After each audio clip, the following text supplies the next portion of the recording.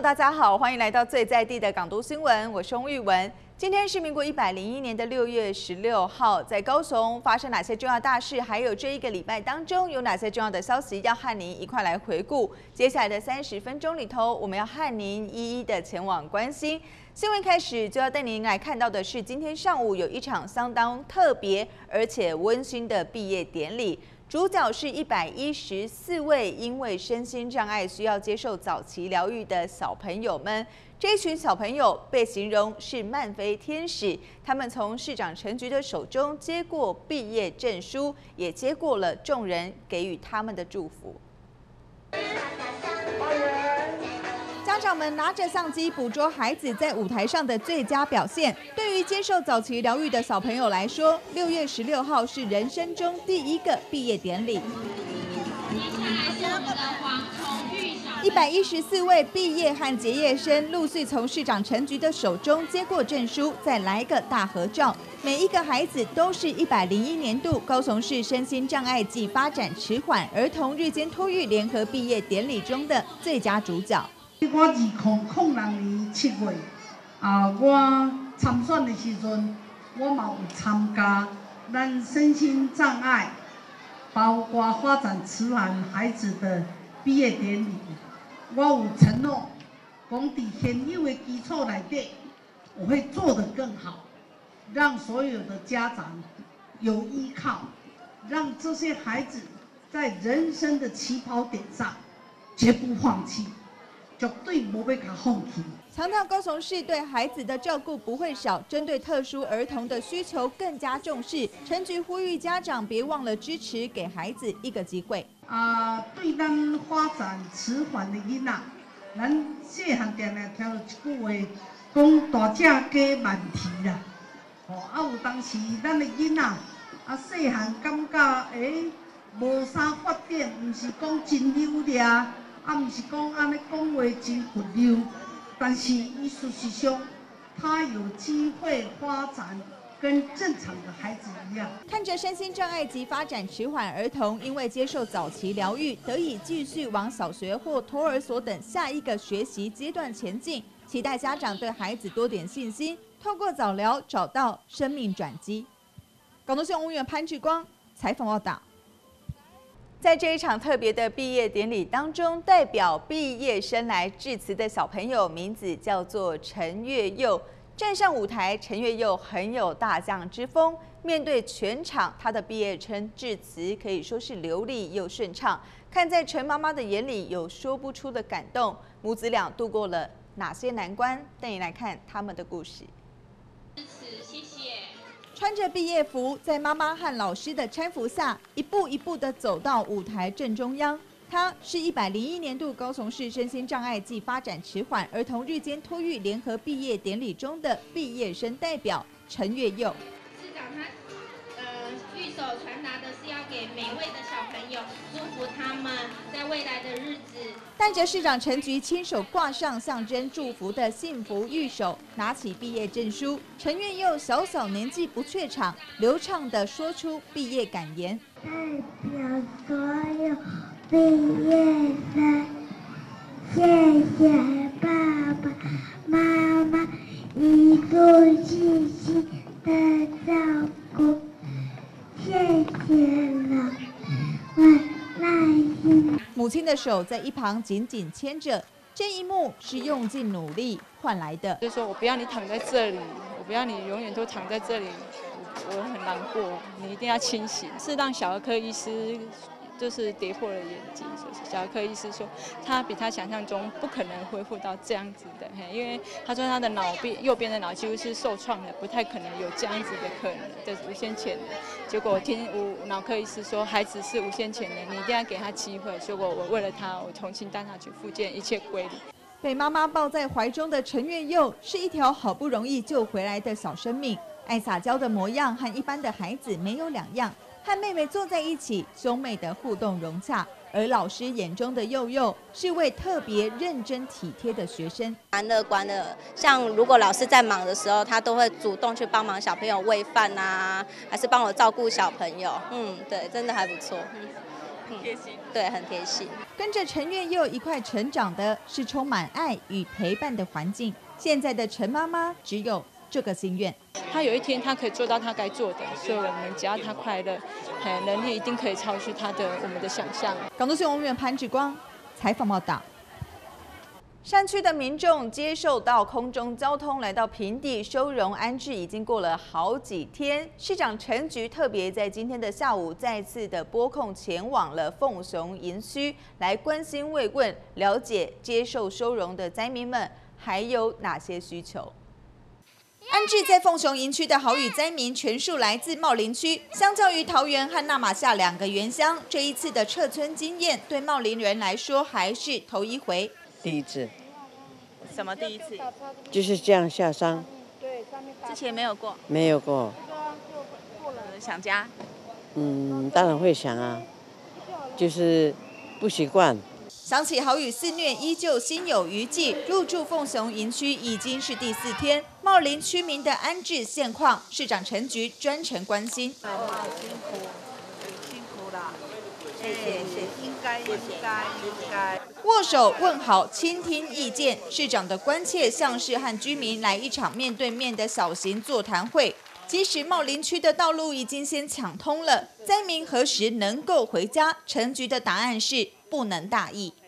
那现在如果台风的状况，包括整个雨量的状况，可能这一两天，啊，这一两天不要看说现在天气看起来很好，不过事实上它的陷入可能在这两天还会有超大豪雨，所以我们刚也是跟这些长辈来解释，我知道他们都很想念部落，我们是希望说大家是不是再忍耐一两天，我不要说。又因为这一两天，那我们急着回去部落，然后又超大雨量，又有一点一点点的不安全，那我会觉得说这样，我们不能让他们陷在孤岛中。山区是否够稳定，要看天气。在受安置灾民回家时间表没有出炉前，是否和军方合作，确保安置生活机能尽量完备。港都新闻潘志光、吴玉文采访报道。继续来看到的是，虽然连日的大雨现在已经暂时缓和了，但是忽晴忽雨的天气恐怕还会持续一阵子。回归到高雄市的传统市场里，婆婆妈妈可能会觉得荷包有点大失血，因为现在市场平均叶菜类的价格都往上飙升。菜贩忙着整理青菜，因为连日来大雨下个不停，别说是抢收不及。蔬菜泡在水里，卖相明显变差，尤其高丽菜剥去泡水的部分比平时小了一大半。但尽管如此，价格却是一路飞涨。叶叶菜类比较多了，蔬菜类啊，像那像个像个菠菜啦、高丽菜啦，这种较贵啊。啊，咧像个偏芳的，像个香菜啦、芹芹菜啦，啊是迄种迄个辣椒啦、长啊，拢去足济。像刚刚看到青江菜，现在我原本是多少钱？起码是贵偌济。原地一公斤头就伫个二十块左右，即一公斤头就伫个四，买到四十块啊，然后买一倍啊。那菠菜呢？菠菜啊，菠菜起头就两三成有啊，哎，两三成都有。青江菜足足涨了一倍，就连高丽菜、菠菜等价格较高的蔬菜，涨幅也在两三成以上。然而菜价涨个不停，可让上市场买菜的主妇们伤透脑筋。价钱还可以接受了，是还是要尺码，对不对？对，还好啦，还可以接受，还好。还好啦，反正这个是天灾，又不是那个，是很正常的啦，没有关系。少少的买就对了，还是要吃嘛，对还是要吃啊。对，然后就少少的买，然后呃，这个是民生必需用品啊，就这样子啊。而再贵也只能硬着头皮买一些，倒是根茎类的蔬果耐水性高，价格相对稳定。是不是改成买根茎类的卡水啊？有啊，话话拢会安尼嘿，话拢大部分根茎类，大即摆拢较人较会接受啊。哎呀，价小较较平稳，较袂起遐济，拢较会接受。是不是产地的价格已经涨很多了？对，涨很多了。大概平均到两三成都有。一连下了一个星期大雨，蔬菜产区惨兮兮，连带市场菜价也跟着飙升。菜贩建议主妇，如果觉得青菜太贵买不下手，不妨多挑选像红萝卜、丝瓜等根茎作物，营养价值同样高，但荷包相对比较省。港都新闻王四五潘之光采访报道。哇，新家哦！妈，上车吧。会记得伊细汉的时阵，常常让我烦恼，所以我一定甲伊揽条条，希望予伊上好的保护。伊讲，即摆伊大汉啊，愿意予我上好的保护。妈，现在后座要系安全带哦。我知影，伊上关心的是我的安全。紧扣幸福的依赖，乘车请系安全带。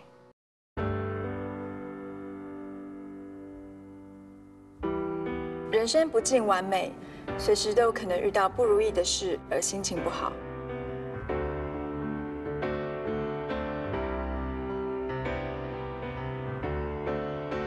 给予他们多些关怀与帮助，别让忧郁变成病。顺手捐零钱，快乐在心田。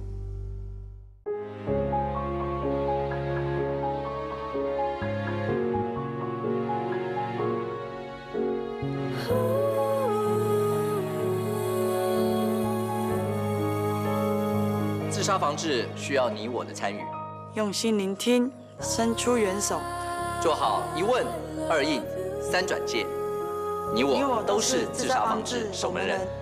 零八零零，请帮帮救救我。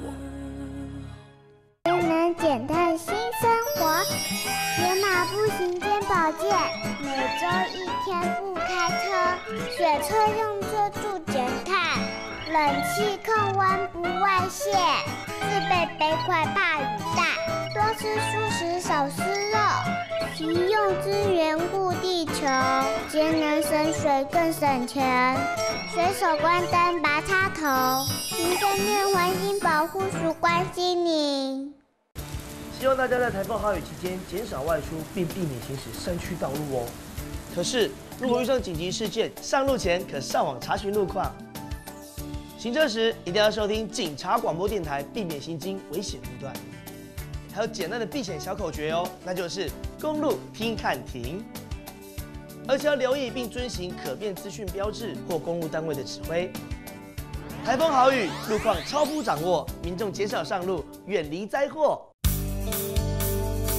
这疏浚工程简直就是 Mission Impossible。以前我们要签好几年，现在我们几个月就把它清理好了。老板，可以休息一下吗？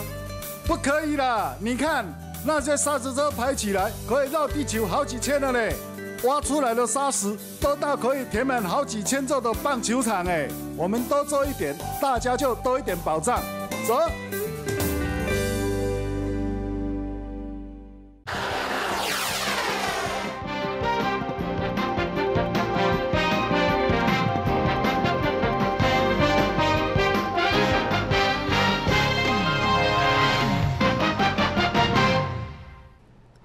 最在地的港都新闻，我翁玉文。在广告回来之后，带你来关心一周新闻回顾。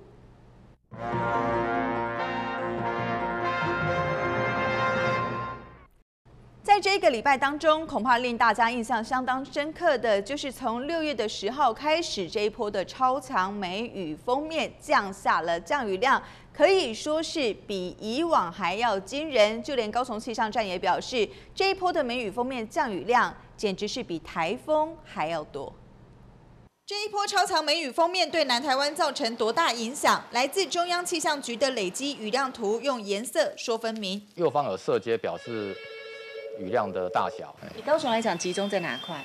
集中在美浓这一块。全台累积雨量最多的区域用淡粉红色来呈现，降下大雨的范围几乎全集中在高雄山区。而高雄各地自动雨量站数据显示，在六月十号上午七点到八点，排名第一的吉东测到七十一点五毫米，降雨量居次的美浓在六十六点五毫米，而排名第三的旗山站竟然也有六十三点零毫米。山区下了非常大的雨量，昨天跟今天的累计雨量都达到了六百以上。旺盛的西南气流，某些山脉的走向会造成小时的雨量比较大。比如集东的地方，它每个小时的雨量就达到七十一点五，是呃比台风还还还强的强度。以整个高雄来讲，单日的每每小时的雨量超过七十以上的状况是非常少见的。高雄气象站先预告，江南宜的梅雨封面还没完，预期超大豪雨可能带来的天灾戒备，提醒高雄市民还不能松懈。高雄院朱雨红采访报道。而梅雨封面在全台湾都造成了各地的灾情，市府的应变灾害防治机制也向上的来升级。这一次可以说是几乎史无前例的针对梅雨封面来开设。台风级的应变中心来进行应应。好大雨加上强风吹的路树不断摇晃，像是台风来袭的情景，说明超强梅雨封面的威力不容小觑。莫拉克，莫拉克是三天的降雨了，有将近有两千八百多毫米在这个区域。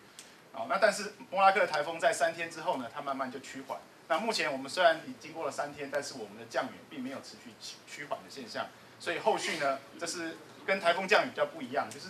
西南气流跟梅雨封面，它时间会拉的比较长，但是它降雨的强度啊，不会像不会像台风雨啊这么大，会有超过一两百的啊一百多的毫米的这种降雨量，但是时间上会拉得很长。和莫拉克台风惊人雨量比较，只怕这波梅雨封面还会继续发酵，各区的撤离人数随时掌握。我们现在强制撤离的人数，最新有民政局各区公所哦已经统计出来。是一千五百四十人，哦，我手边的最新资料。不止雨量是台风级罕见的，因为梅雨做出停班停课决定，灾害应变中心的开设级数，更凸显市府对这波梅雨封面严加戒备。后天可能会越来越严重，所以我们宣布高雄市灾害应变中心，哦，现在开始就提升为一级开设。以往几项针对台风才会做出的决定，这次全因为超强梅雨效应一一就位，几乎是史无前例。港都新闻网员刘志善采访报道。带您把镜头转到的是六龟地区，来关心回顾的是，在台二十七线上新发段，明明在降雨停止之后，仍然是有泥流滚滚的现象发生。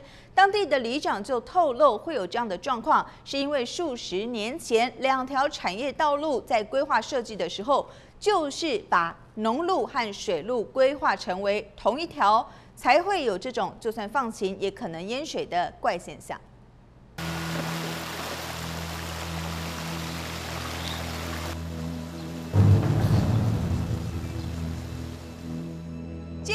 的大雨降下，虽然现在雨势已经暂时停止，可是我们可以看到的是，眼前这一条往六龟新开的路上，依旧是滚滚泥流，造成行人和用路人的不便，情况还是相当的危险。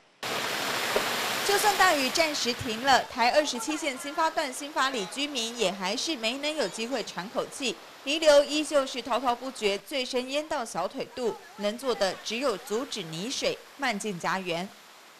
这挂起啊！我那个石头啊，捞伊啊。用石头来堆来洗嘞，我直接捞伊啊咧。这抄了三四天啊，三四天就安尼。一直拢安尼。嘿，拢拢拢未未通未通啊。啊，水用上悬到倒？拢差不多脚头外水尔，啊，内这厝内拢入水啊，因咧较低拢入水。没下雨，水怎么还是不停？跟着里长找原因。眼前的产业道路形同一条小河流。平常时你也是水路兼农路。兼农路。系对。所以你每届落大雨拢安尼。系对。你对我细汉啊，未就拢安尼啊。啊，小就是垃圾河啊，就规个全部就是规个路就是那往南往呃往南边的一条河安尼。等你们要好的出水口，所以出无就出去到老龙溪，所定定所有沙雕拢会塌伫遮。啊！在遮个规个路边的双仔、双边的民宅，就是拢淹水。他们卡几号？遮卡了遮八号。雨水要进入老农溪引水的水路，竟然和产业道路是同一条。台二十七线新发段也因此道路变水路，来往车辆得特别战战兢兢。负责养护的公务总局先做紧急处理，先把这个土石推掉。但是推掉以后，因为它上边坡那个水还继续往下流。还会带泥泥土过来，所以推掉以后还要再继续推。那以这个地方哦，如果是自贬自道了，长期哈，应该是上边坡那个哈，要找一个相关单位，大概是水保局哈，要做一个水路哦，让这个不能流下来哦，水路不要跟马路共共用，这样才是治本之道了。市长陈菊特别到场关心，承诺建市府力量和中央水保局等单位沟通协调，让农路和水路各走各的，解决困扰地方的怪现象。港东新闻员朱宇宏采访报道。来到中山大学的文学院，看到了好几只狗狗，可不要特别的惊讶。这些所谓的安保犬原本都是流浪狗，而在师生爱心认养之下呢，他们现在全成了巡逻校园的好帮手，也可以说是创下校园里认养安保犬的第一例。电梯门一开，走出来的竟然不是人，而是狗。怪怪，难道是宠物当家，还是猫狗大战的电影场景？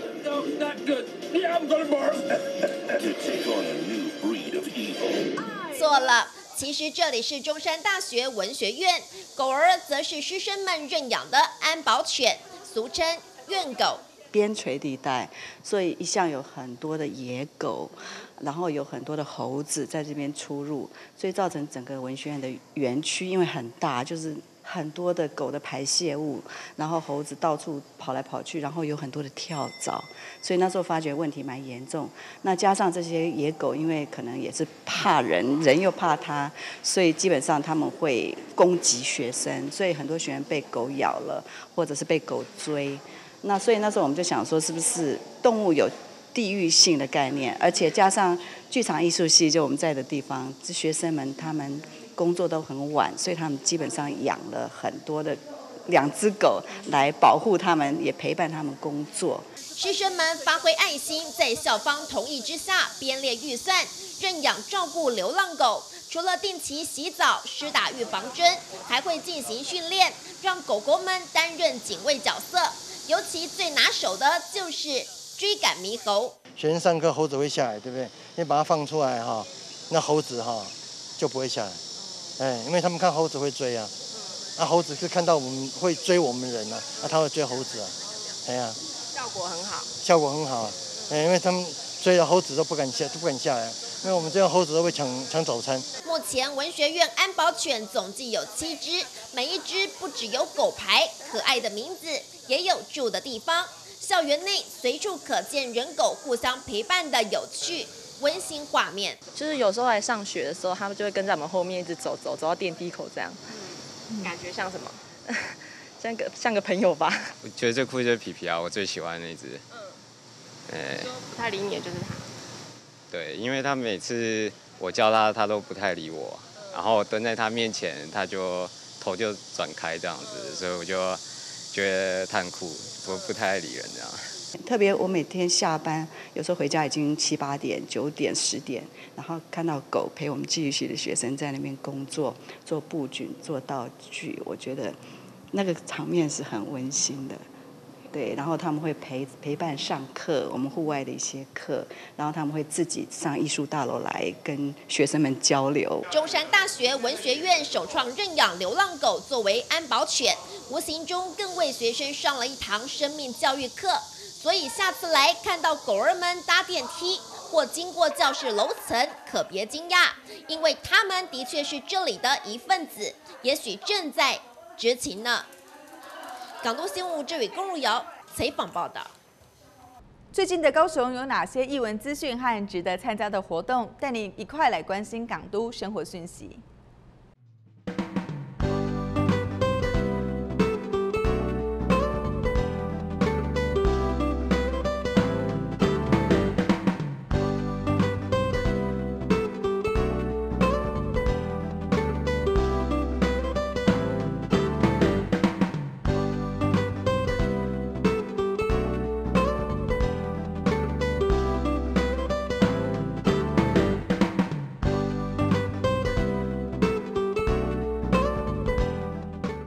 以上是民国一百零一年六月十六号的港都新闻，我是翁玉文，非常感谢您的收看，祝您一切顺心平安，我们下个礼拜同一时间再会。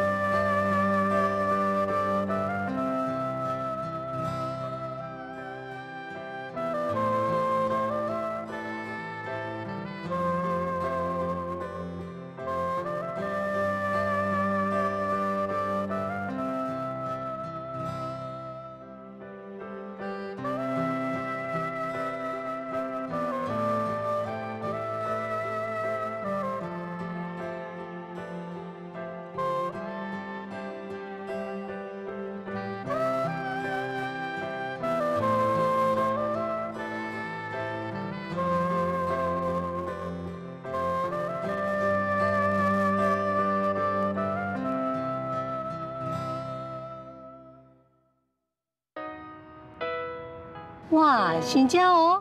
妈，上车吧。会记得伊细汉的时阵，常常让我烦恼，所以我一定给伊揽条条，希望予伊上好的保护。伊讲，即摆伊大汉啊，愿意予我上好的保护。妈，现在后座要系安全带哦。我知影，伊上关心的是我的安全。紧扣幸福的依赖，乘车请系安全带。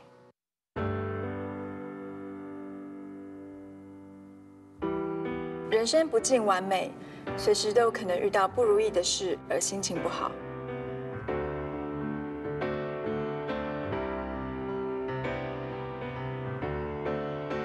给予他们多些关怀与帮助，别让忧郁变成病。顺手捐零钱，快乐在心田。